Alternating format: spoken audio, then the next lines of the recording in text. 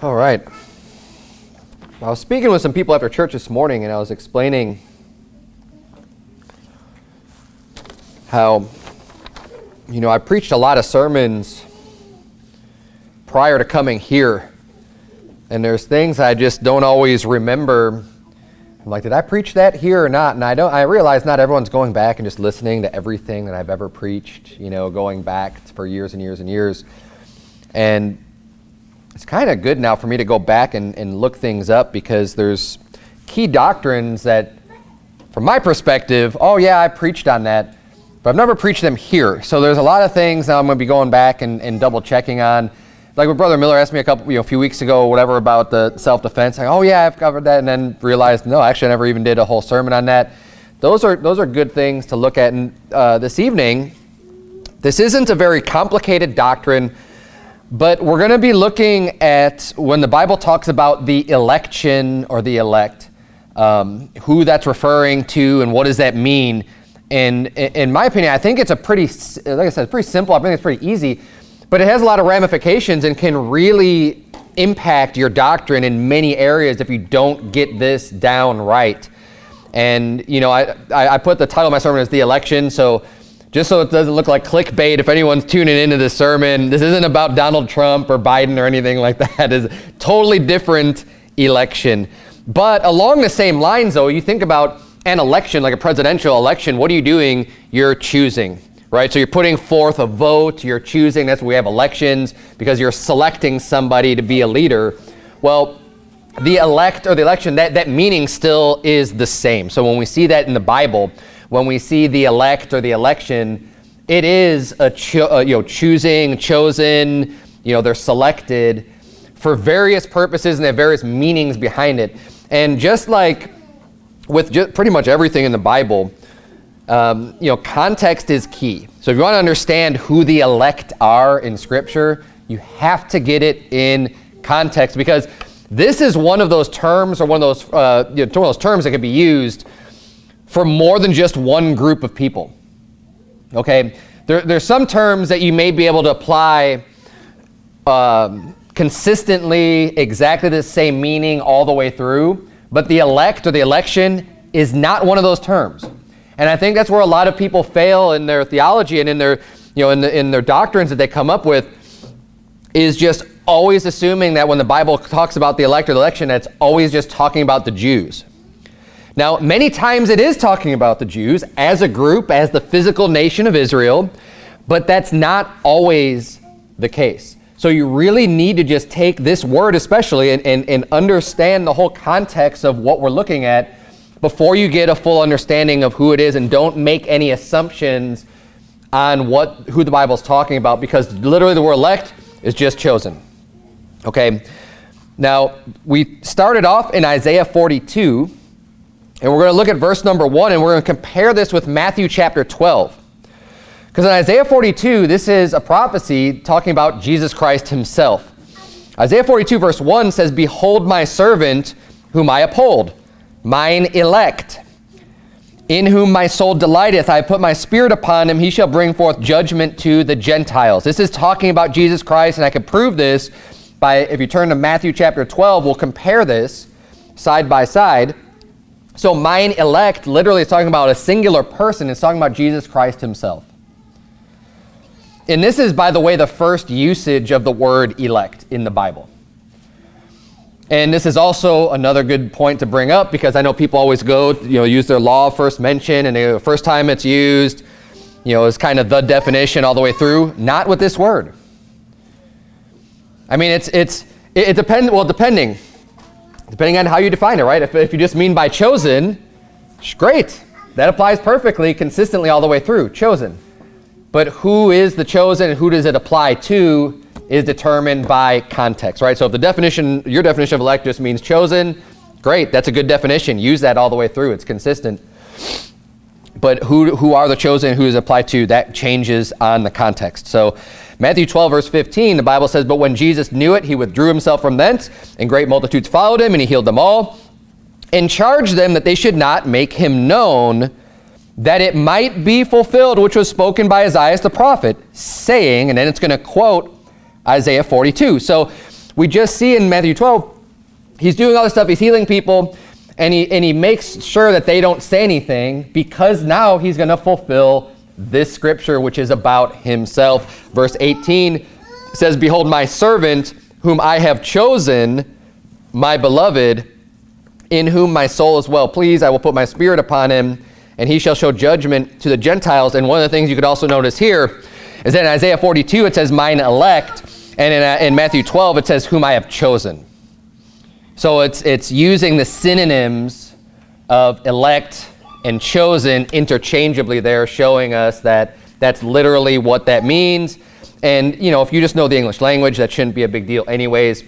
Very easy to see that. But there we have the Bible also just kind of defining that within the, uh, you know, the, the Hebrew going in English versus the Greek going in English there, and uh, the, the uh, quotation from the, Old the, from the Old Testament in the New Testament using uh, uh, synonyms, which, by the way, on a different point, I think also exhibits how God preserves His Word and to the detail. And yes, we believe in every word of God. And I'm not for changing words of God, but you have the same meaning coming across here, exactly the same.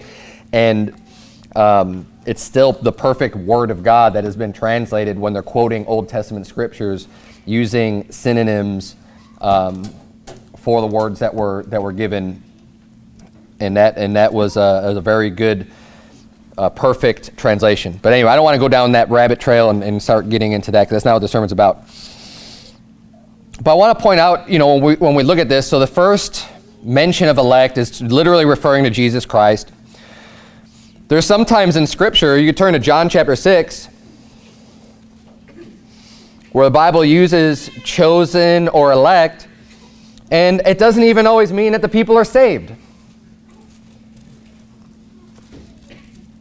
John chapter 6, verse 70 the Bible reads, Jesus answered them, he's talking to his disciples, Have not I chosen you twelve, and one of you is a devil? He spake of Judas Iscariot, the son of Simon, for he it was that should betray him, being one of the twelve. So the disciples, the 12 disciples, were elect. They were chosen by Jesus Christ himself to be his disciples. And he's saying, Look, I've chosen you 12, and one of you is a devil. One of them wasn't even saved, yet he was elect. Yet he was chosen by Jesus Christ. And he was chosen for a purpose, right? The disciples were chosen for a purpose. The fact that they were chosen didn't just automatically mean they were all saved, but they were chosen for a purpose. And when it comes to the Jews, you know, that, that is commonly called or known as God's chosen people, which I'm not even completely against that terminology either, because in many contexts that is correct and true, and we're going to look at that. The problem I have, and the reason why, the, one of the main reasons I'm even preaching a sermon, is because people take that too far and it becomes like a Jew worship or this thought or doctrine or understanding that the Jews are some special people today that get some special pass and special privileges by God because they're the chosen people, and that's simply not true. And that simply has never been true, by the way. They've never just received like just all kinds of extra benefits by being physical heirs or descendants of Abraham. Now God has given them a, you know, a land and led them into the promised land, but we're even going to see, turn if you would to Deuteronomy chapter number 9. I'm going to read for you from 2 Timothy chapter 2 while you're turning to Deuteronomy 9. 2 Timothy chapter 2 verse 10 says, Therefore I endure all things for the elect's sakes. And this is talking about this Apostle Paul. He's in his, just in the previous verses talking about his tribulations and things he's gone through. He says, I endure all things for the elect's sakes, that they may also obtain the salvation which is in Christ Jesus with eternal glory. So in that context, when he's talking about the elect's sake, he's talking about physical Jews. That's who he's talking about there. And like I said, Many times you will see that, but it's not 100% of the time. You can't always assume that that's who he's talking about. Here it is, yet in this context, when he says, for the elect's sakes, he wants them to be saved. So they're elect, but they're not even saved. Now, if you're not saved, there's only one place that you go when you die, and that's hell. Everybody needs to be saved in order to go to heaven. No matter, no matter who you are, no matter where you're born, bottom line is God is not a racist. In elevating one group of people over another, as if they give some special rules that only apply to them, would mean that God actually cares about their physical descendancy and things like that, which He doesn't. He doesn't. He doesn't care about that. He doesn't care where you were born. There's one God, and there's one way to heaven, and that's Jesus Christ, who said, I am the way, the truth, and the life. No man cometh unto the Father but by me. And the physical Jews of his day, the ones that rejected Jesus, the one that, that, that you know, crucified him and said his blood be on us and on our children, they ended up dying and going to hell you know, if they didn't put their faith in Jesus Christ. It doesn't matter that they were physical Jews. It doesn't matter that they were called the elect or the election. Doesn't matter at all.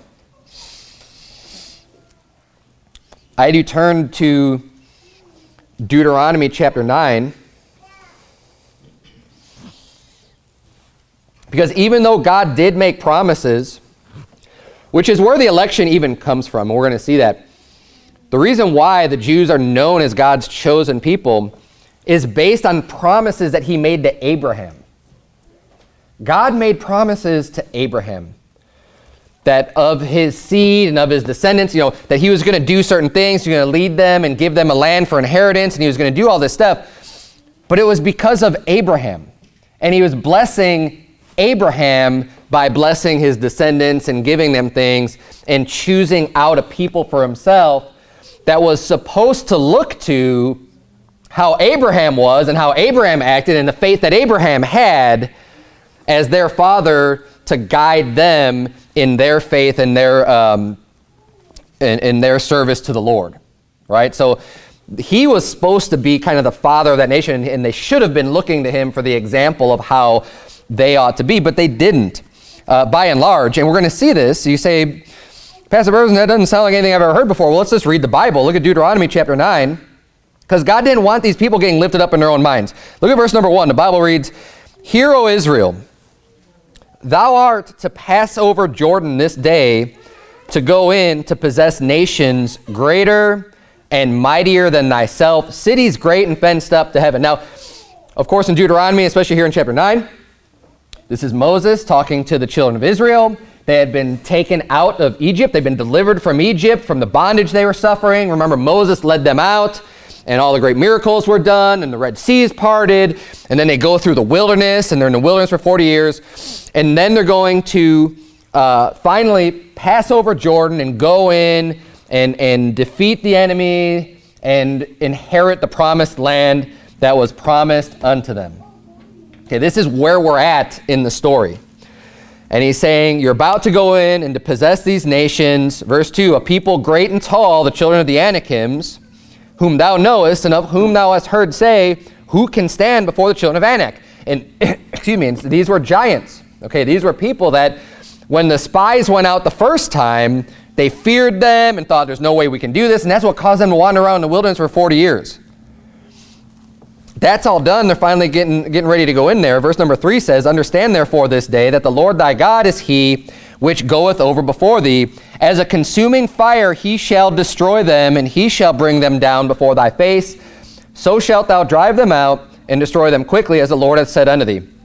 Speak not thou in thine heart, after that the Lord thy God hath cast them out from before thee, saying, For my righteousness the Lord hath brought me in to possess this land.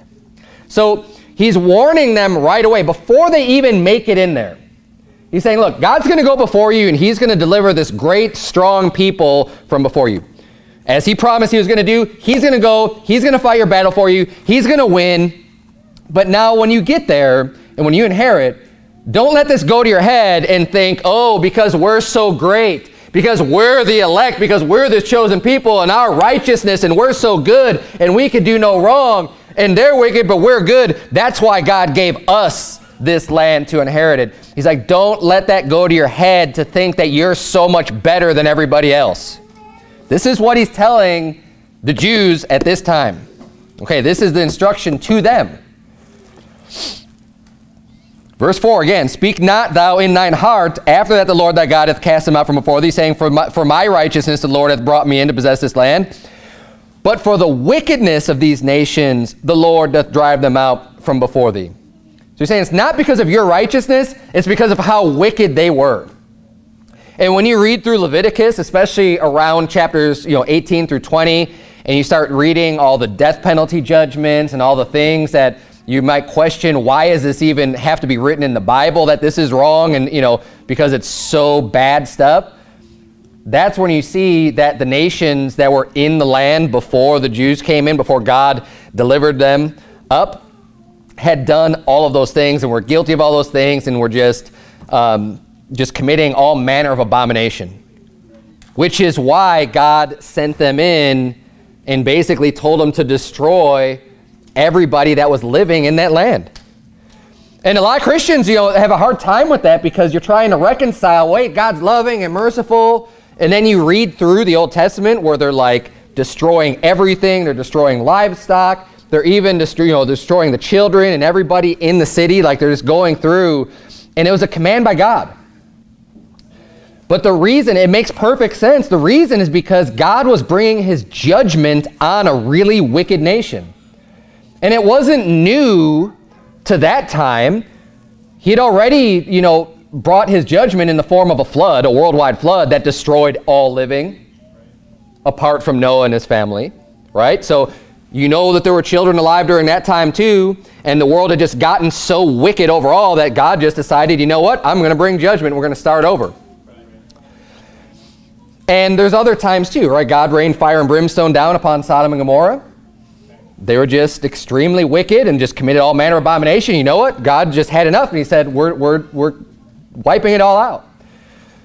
This was no different in the land of Canaan. The Canaanites that dwelt in the land also had just gotten really, really wicked, committing all manner of abominations, and God just said, you know what? I'm going to bring judgment in. And God in his providence was capable then of not only bringing judgment in, on the wicked nation, he also then kept his promise to Abraham, Isaac, and Jacob by bringing those people into the land to give them the inheritance that was promised unto Abraham, Isaac, and Jacob. So he's fulfilling you know, multiple aspects of his will through these events. But Moses is warning the people, don't think it's because you're so righteous. Verse number five, not for thy righteousness or for the uprightness of thy heart dost thou go to possess their land, but for the wickedness of these nations the Lord thy God doth drive them out from before thee, and that he may perform the word which the Lord sware unto thy fathers, Abraham, Isaac, and Jacob. Understand therefore that the Lord thy God giveth thee not this good land to possess it for thy righteousness, for thou art a stiff-necked people. So he, re- he, I mean, he reiterates himself. He literally just said that and then says it again. Look, it's not for your righteousness because you're stiff necked, because you don't want to listen. You've just been wandering in the wilderness for 40 years. God's not bringing you here because you're such a great people and awesome people and you could do no wrong and everyone needs to bow down and worship you. Okay, that's not why he's bringing the Jews into that land. It's not why at all. Verse 7 Remember and forget not how thou provokedst the Lord thy God to wrath in the wilderness from the day that thou didst depart out of the land of Egypt until ye came unto this place, ye have been rebellious against the Lord. This is the people. Now look, this was from the beginning of them inheriting the land. Why do you think it got, did it get way better? Did the people just become way more godly how about today? Are the people that are called the Jews inhabiting the land of Israel just the most godly Christian people that you know in the world? So should we then, as Christians, as believers, exalt these people who may have physically descended from Abraham and say, wow, God hath chosen you and we're going to just show a lot of extra honor and respect unto that. No, not for their sake, that's for sure.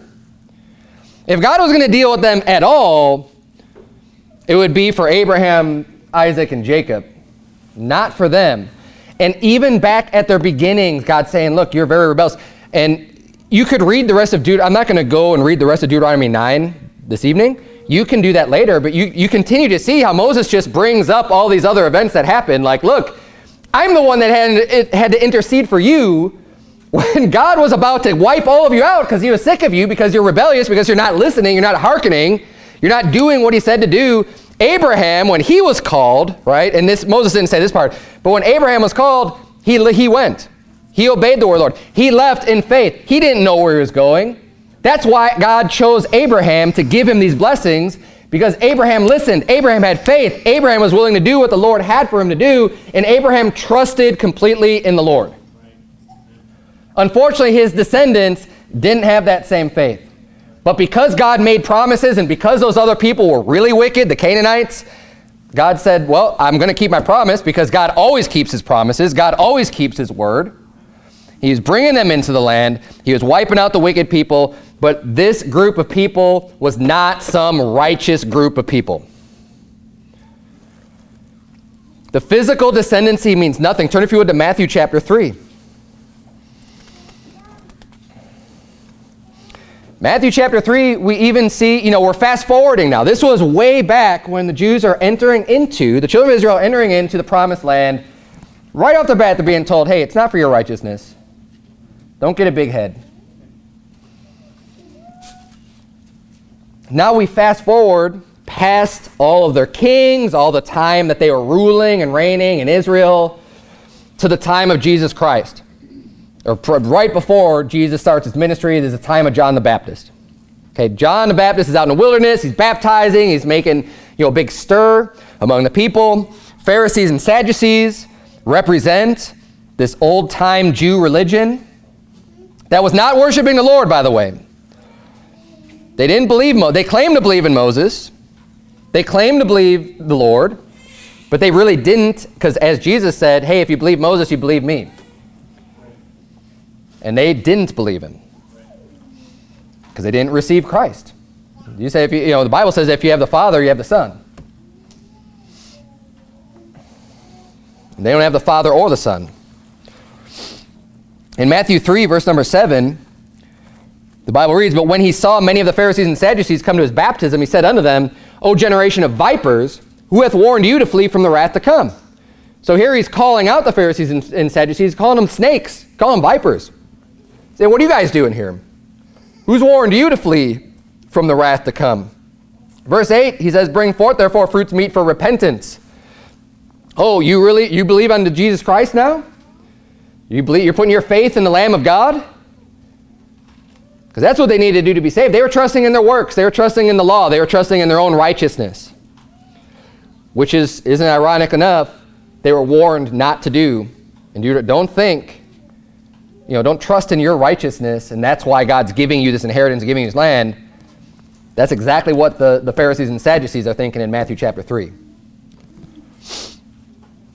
And look what he says he says, bring, therefore, uh, bring forth therefore fruits meet for repentance, and think not to say within yourselves, we have Abraham to our father. Because he knows that's what they're trusting in. Oh, we're elect. We're chosen. We're children of Abraham. That's why God loves us. That's why we're special people. And he says, don't say that within yourselves. We have Abraham our father, for I say unto you that God is able of these stones to raise up children unto Abraham. Say, that means nothing. See that rock over there? God can make that rock a, a child of Abraham. That doesn't mean anything. What matters is your faith. What matters is your heart. It doesn't matter who you're born from. And this is a message to, to Jews. Don't to think themselves anything special themselves because of who they've descended from. And it's also a message to Christians. Don't think anything special of anybody, any group of people, just because of who they're descended from and, and where they are in the world physically or whatever. None of that matters. It doesn't matter. In Christ, there's neither Jew nor Greek. And we're going to see that in a little bit. It doesn't matter. The only time the ancestry ever mattered at all was under the Levitical priesthood because there was, um, you know, rules on who was going to serve as a priest or as a Levite, you know, in the house of the Lord. And that's it. Who was able, who was allowed to perform those sacrifices? That is why they had to keep track of their ancestry, but it wasn't because of, you know, oh, well, you had to be a Jew to be saved or anything like that, because all nations were welcome to become a Jew and to put their faith in the Lord. And many people of other nations joined themselves unto Israel because they chose the Lord as their God. Turn to Romans chapter 3.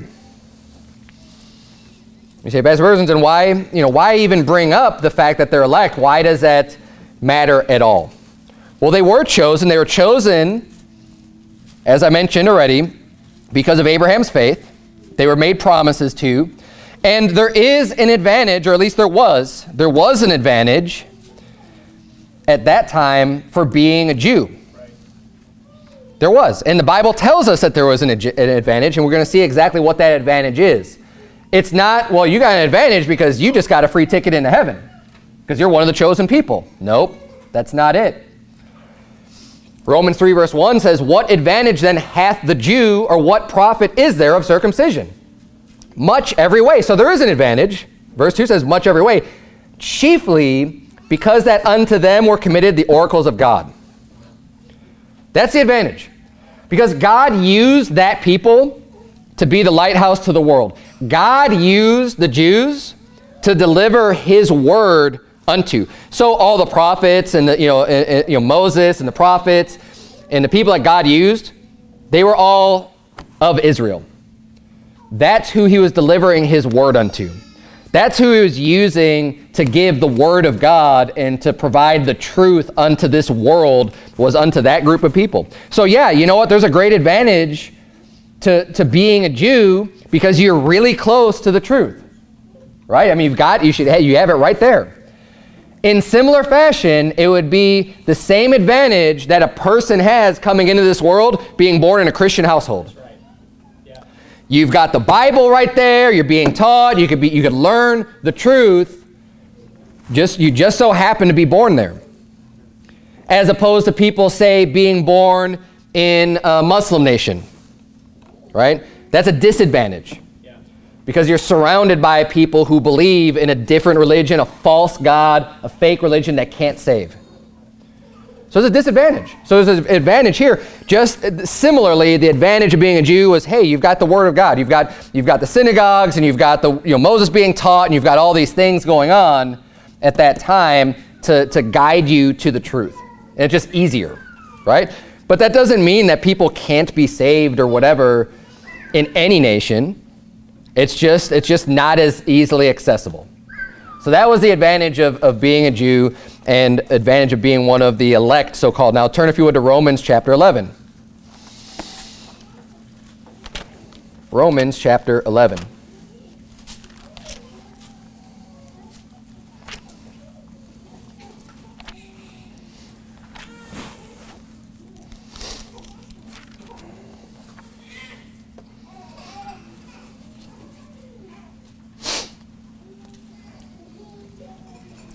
Romans 11, we're going to start in verse number 1, and we're going to read a lot of Romans 11. Romans 11 has a lot, um, a lot of content on this subject of the election and the elect and understanding it more fully. Verse number 1 says, I say then, hath God cast away his people? And his people, again, is referring to physical Jews in this context. God forbid, for I also am an Israelite of the seed of Abraham of the tribe of Benjamin. So Apostle Paul is saying, look, even though by and large the Jews as a people and a group, they rejected the Lord Jesus Christ. The Bible says he came unto his own, his own received him not. Right? Now, that is painting with a broad brush because that was the majority. But it doesn't mean every single individual just completely rejected Jesus. Of course they didn't.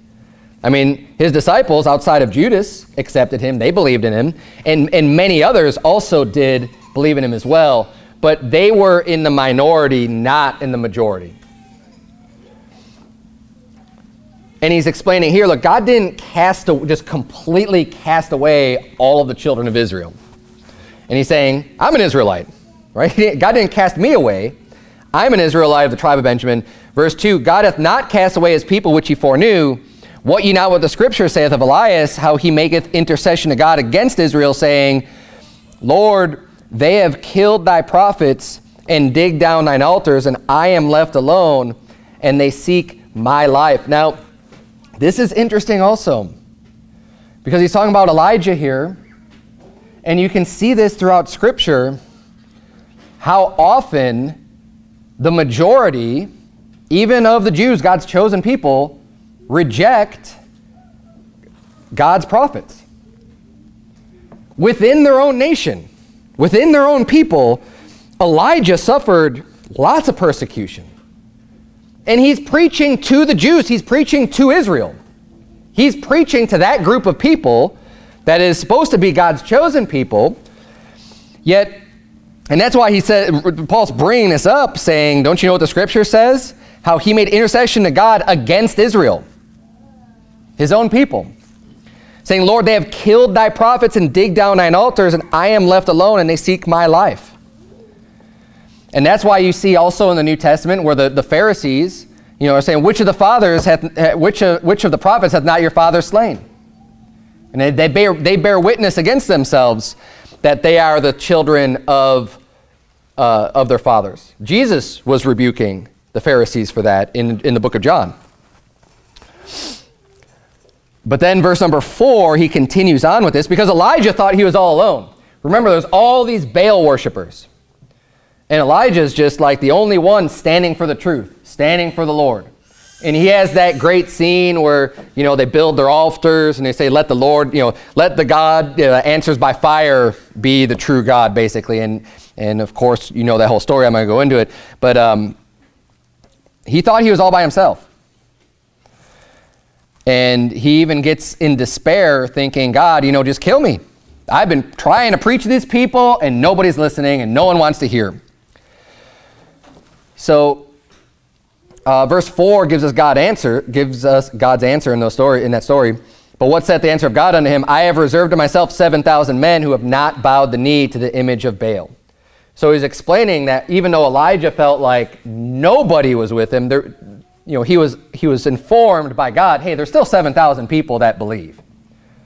There still is a remnant. There still is a small amount of people out there. 7,000 among a whole nation isn't that many but there's still seven, you know, it's, it's not like it's just you, Elijah.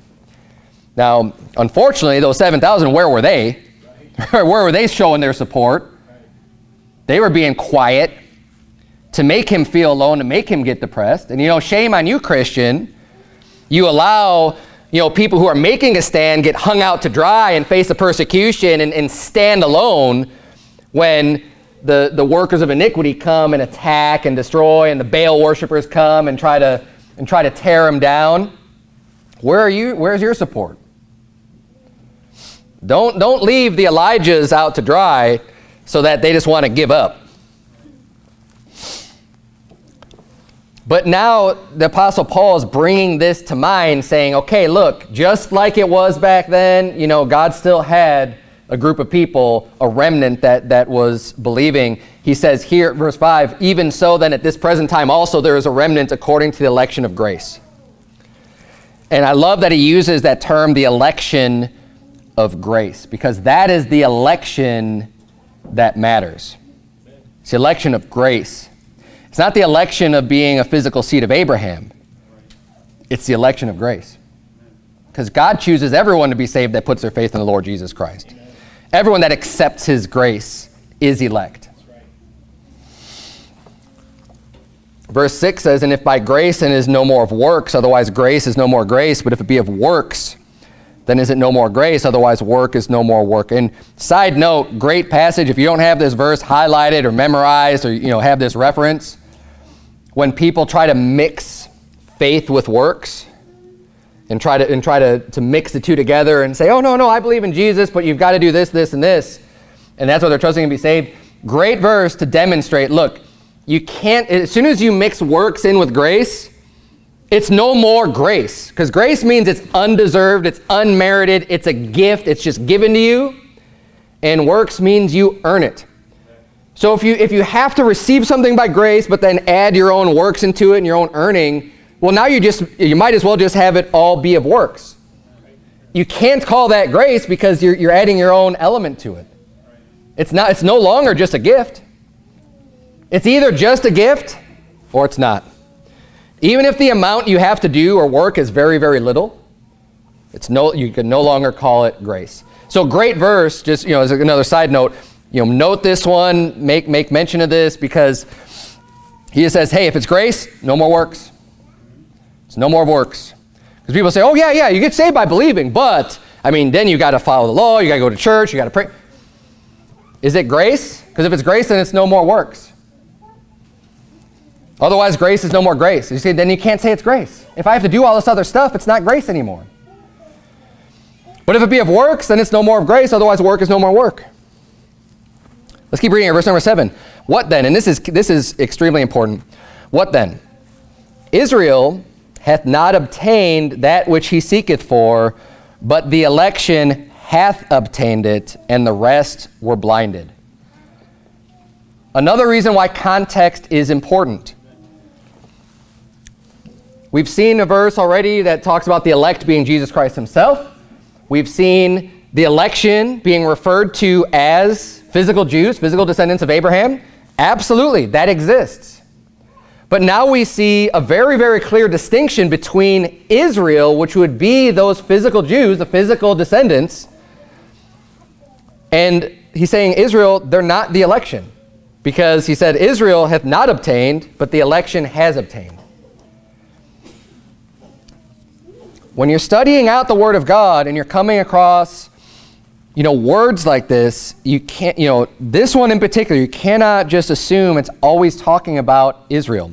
Because otherwise, I mean, if you did that every single time, then this would make zero sense. Israel hath not obtained that which he seeketh for, but Israel hath obtained it. Right? Swap the election for Israel. You can't do that. So this is talking about a different election, which makes perfect sense because in verse 5, he just talked about the election of grace. So the election, many times in Scripture, can also refer to believers.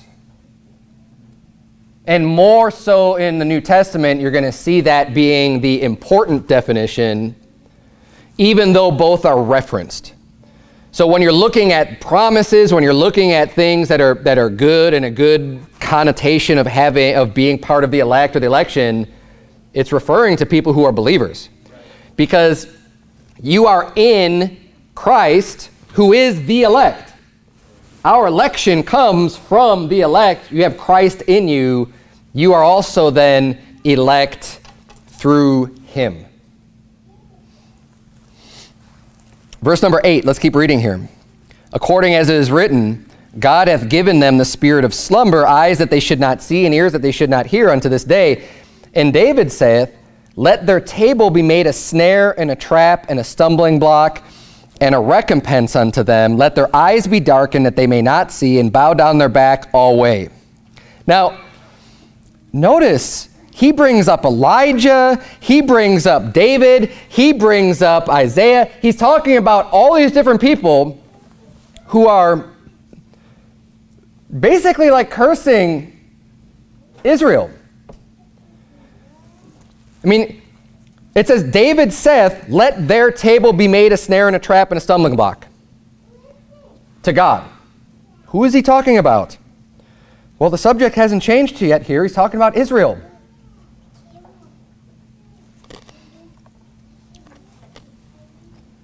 If that's the case, you know, this is how you prove different doctrines that you hear. And the people that, the Zionists that want to exalt the Jews above everyone else and say basically we have to worship the Jews and we have to fly an Israel flag and because God said that if we, he'll bless us if we bless them. Well, hold on a second because that doesn't match with what I'm reading in Scripture. And it doesn't match for any time period either. Because we can look where God actually is punishing Jehoshaphat for helping the ungodly. And you know who he helped? He helped Israel. Jehoshaphat was a king of Judah, Ahab was a king of Israel. And Jehoshaphat took his forces and his troops and helped Ahab militarily, yes, militarily in a fight, right, against their enemies. And he says, Oh, yeah, well, our people will be like your people. We're going to go. We're going to defend you. And then a man of God came and, and rebuked Jehoshaphat and said, Shouldest thou help the ungodly and love them that hate the Lord? He says, Don't do that. But I thought we were supposed to bless them. No. No. If you go back and look at that reference in Genesis, God was talking to Abraham. He says, I will bless him that, that blesses thee. Thee is singular. He's talking to Abraham. And curse him that curseth thee. It doesn't, it's not this broad brush statement of anyone, whoever comes from your loins, Abraham, if anybody blesses those people, I'm going to bless those people. And if anyone curses them, I'm going to curse them. And it doesn't matter how wicked those people are that come from your loins, that's just going to be the way it is. That's ridiculous. God didn't deal with the people that way. God's own people didn't deal with the people that way. The righteous people of God, they're saying, look, let them be a curse and a stumbling block and all this other stuff. Why? When they were rejecting the Lord, when they were turning their back on God, when they were going after false gods and false in um, their idols and stuff, then that's how they were dealing with them. And that was righteous, and that's how they should have been dealing with them. We don't need to get this obsession over a group of people because of the false doctrine that's out there. And you know, I, was, I brought up Jehoshaphat. He was militarily supporting. Isn't that what you hear today from the Christian right?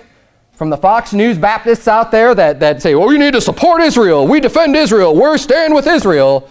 The reason why they say that is because their false view and their false understanding of Scripture. The reason why they're making that stand is because they go to church and they're being taught, we need to bless Israel. We need to stand with Israel. They're God's chosen people. Do you see the ramifications of doctrine and how important it is to read the Bible for yourself and match Scripture with Scripture and go, hold on a second, that doesn't sound right to me because I'm seeing all these other men of God are being persecuted by the elect, by the chosen people, by God's special people, that the people who are of God are being uh, um, just persecuted, and I'm reading in Scripture, I'm reading through Romans, and I'm seeing, wait a minute, why should we be blessing these people? Why should we be supporting Israel? It doesn't add up, it doesn't make sense. And you know, this has severe consequences. Because you've got people getting their children signed up to go fight in the military to go support a wicked group of people. And we shouldn't be sending people over, our children, to go and die in someone else's war and defend oil and other interests of people who reject the Lord Jesus Christ. Amen. Why should we defend those people? There's no righteousness in it at all. There's none. It has severe consequences. Let's let the Bible teach us. Who are the elect? in each context, what is the Bible teaching and what is right for us to do? Because in this verse, in verse 7 that we had already read, the elect is not Israel. It's not the physical seed. The election are believers. Because Israel didn't obtain it, but the election have.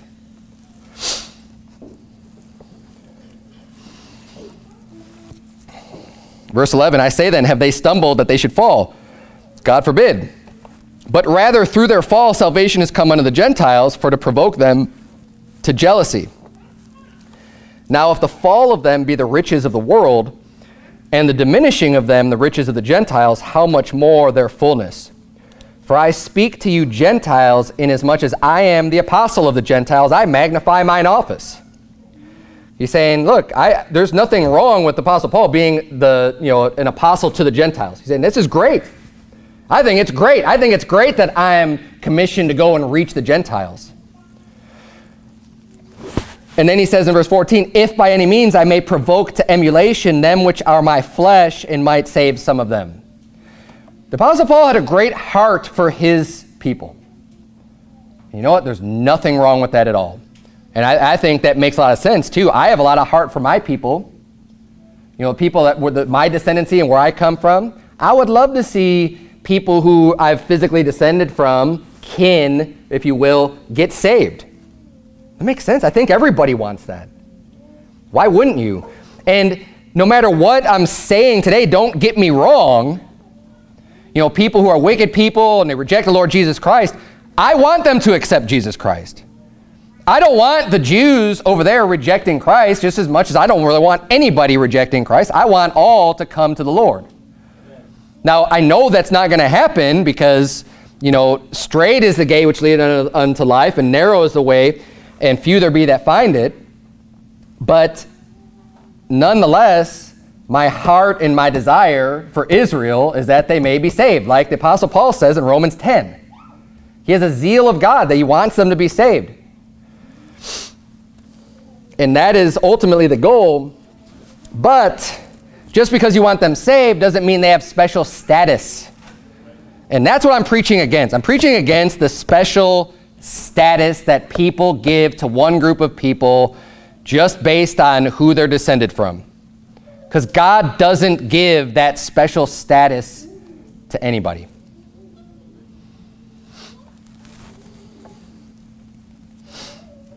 In fact, the special status, if you have more, the Bible says, unto whom much is given shall much be required.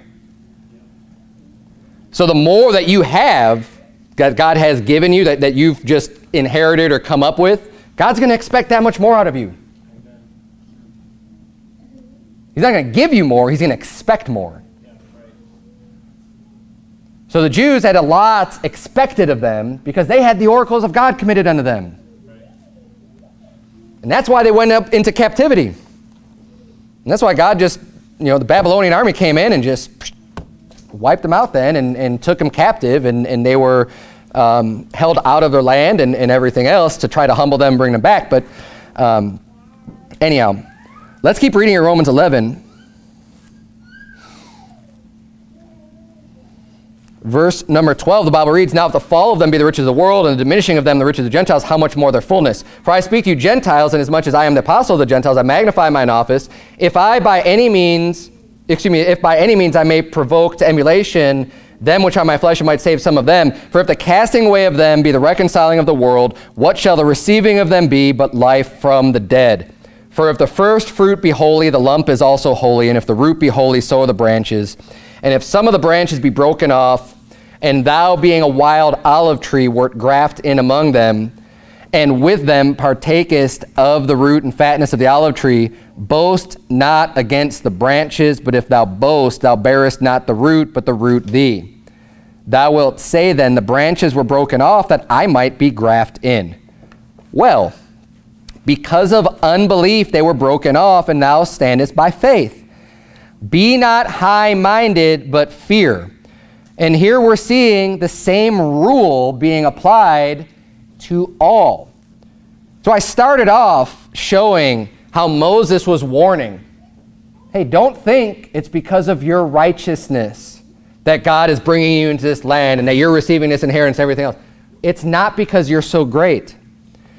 The same warning now basically is coming upon those Gentiles who are grafted into this tree, saying, Don't get high minded. You're just brought in because of faith. Don't start thinking you're so great and you're so special because it's not about you. It's about Jesus. You know, anyone that puts their faith in him can be part of that tree and part of that root of Jesus Christ. And you know what? God does use groups of people and nations to do his will and to do his work. And God removed Israel's place and gave it unto another that was bringing forth the fruits thereof. And, and hey, here's some workers. These workers were slack. These workers weren't doing what they're supposed to be doing. And go back and read the Gospels and see Jesus' parables about the, the husbandmen and the, you know, the vine dressers, and they're not doing the work that the Lord had sent for them, and, and these servants that they had a job, and they're simply not doing it. And what happens to them? God cuts them off. He gets rid of them, and he hires new servants that are going to do the work for him and bring forth the fruits thereof, because that's what he's looking for. People who are going to obey him, people who believe in him, first of all, and then they're going to obey him and do his work. And everyone is subject to that. There is no special pass. It says, Be not high minded, but fear. Verse 21. For if God spared not the natural branches, take heed lest he also spare not thee. Behold, therefore, the goodness and severity of God on them which fell severity, but toward thee goodness, if thou continue in his goodness. Otherwise, thou also shalt be cut off. And they also, if they abide not still in unbelief, shall be grafted in, for God is able to graft them in again. So you know what? If those, if those that were originally called the chosen people believe and they put their faith in Christ, guess what? They could come back and be part of that tree. It's that simple. And you, I mean, you're, you're in the tree, right? Now, this isn't talking about, you know, losing your salvation. This is talking about who's God's using as a people. Like now he's using the Gentiles. He was using the Jews, now he's using Gentiles. But hey, if the Jews start, start doing, you know, getting right with God and get, you know, and, and turning to the Lord, great. They could be grafted in too. And they can do work for the Lord. Turning forward to Galatians chapter 3. It's the last place I'll have you turn, Galatians chapter 3. This is kind this is a real big topic to try to, to try to take on in one sermon. We're almost done. I just I just need you to see this one this one last thing because we're talking about physical descendancy and everything else. And you know, this concept of the election, you need to get it from the context is, is mainly what I want to just focus on and bring up. So that way when you're looking at the various scriptures that use that term, you're being real careful with applying it. One of, the, one of the places where a lot of people get it wrong is in the prophecy scriptures like Matthew 24, where it's talking about God gathering together the elect right? And that's one of the one of the reasons why we went into some of the detail here, showing how yes, sometimes it can be referring to physical descendants, but sometimes it's talking about people who are believers. Because when God comes to gather his elect, that's the rapture. And that's when believers are going to be gathered up. But see, people who have their, their timeline screwed up on end times events, they look at that and they say, well, that's just got to be Israel. So they think only physical descendants of Abraham are going to be gathered at that time. And again, that makes no sense. It really makes no sense, especially now. There's been so much intermingling and, and just corruption of, of you know, bloodlines, anyways, which I'm not saying God really cares about that. I'm just saying that, I mean, the Bible says avoid genealogies. And it's just a fact that it's happened. How, no one knows what tribe they're of anymore, of the, you know, from the children of Israel. They've been, they've been scattered abroad and none of them have pure blood. And if you start, you know, you can look up anybody. For all I know, I have Jewish blood. I don't know. I don't care. It doesn't matter. Because that's not who the Bible is referring to about his elect being gathered together. Someone, I mean, where are you going to draw a line? Well, if you have 5% blood, then you're considered Jew, or 20%, or 50%, or whatever. Like, ridiculous. And, anyways, the people who are going to be raptured, it's not based on their blood, it's based on Jesus' blood. Amen. It has nothing to do with your blood. Right. Your blood can't atone for your sins. God's not going to gather you up because of how pure your blood is, because of who your father was. He's going to gather you up if, if He's your father and your, blood, your faith is in the blood of Jesus, because that's the only blood that can atone. Galatians chapter 3.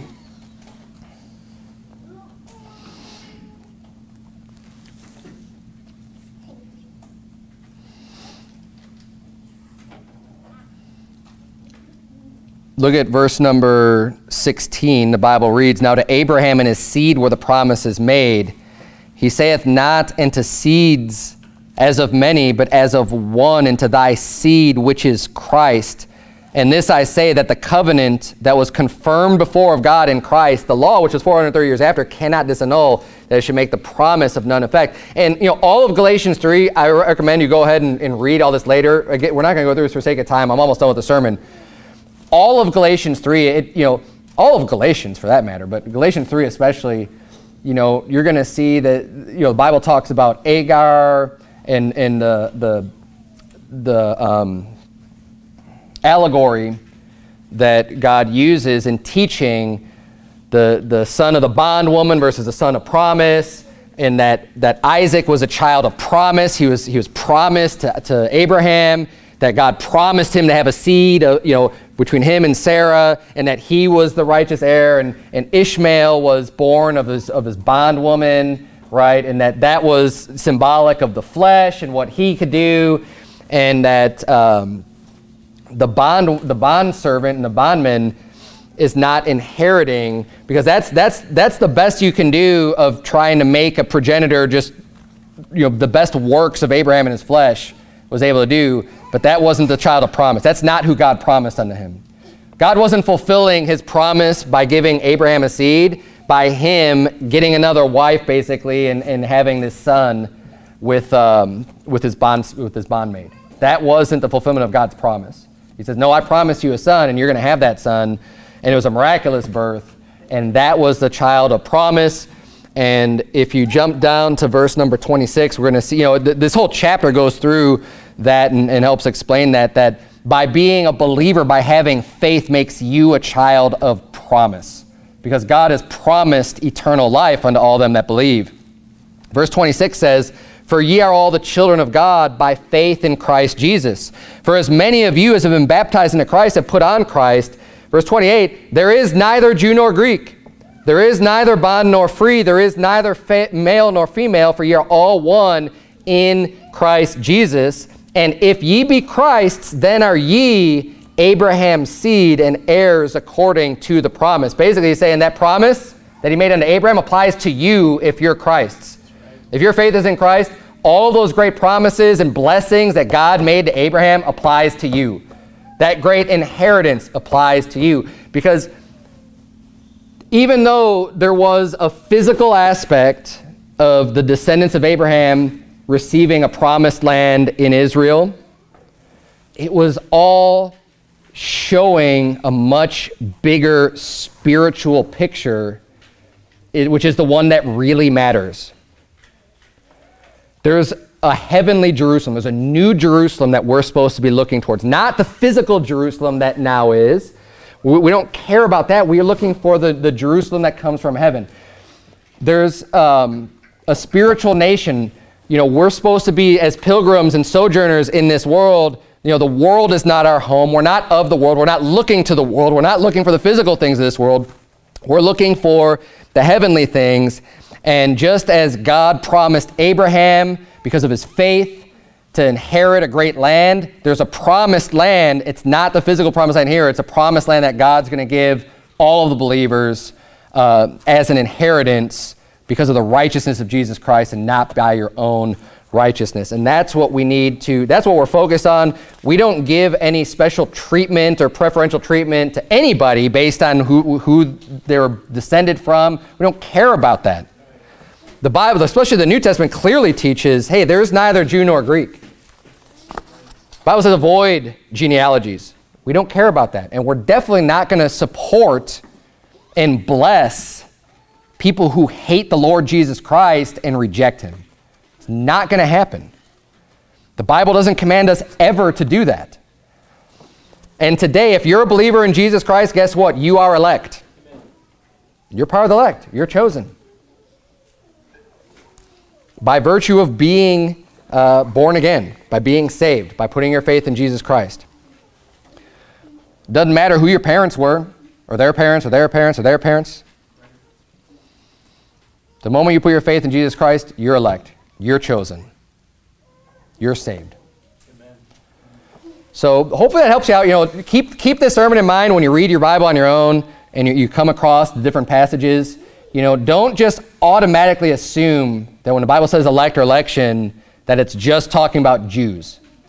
It may be, but keep in mind that it could mean other groups of people, it could mean believers and not the Jews, right? So just, just keep, bear that in mind as you're reading that you get the full context and apply the word appropriately. Let's bow our heads and have a word of prayer. Dear Heavenly Father, Lord, we thank you so much for your words, for uh, the good doctrine that we could learn from your word. God, I pray that you please lead us and guide us and illuminate us in all truth and wisdom, dear Lord. I pray that you please help us to do the work that you've set before us and that you'd help us to reach uh, as many people as we can. Lord, we want people to be saved. We want to spread the word of God. And I pray that you please help us to do so with, with good doctrines. In Jesus' name we pray. Amen.